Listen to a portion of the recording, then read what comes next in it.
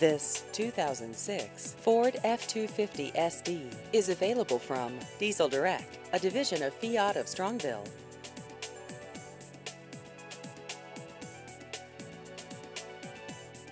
This vehicle has just over 184,000 miles.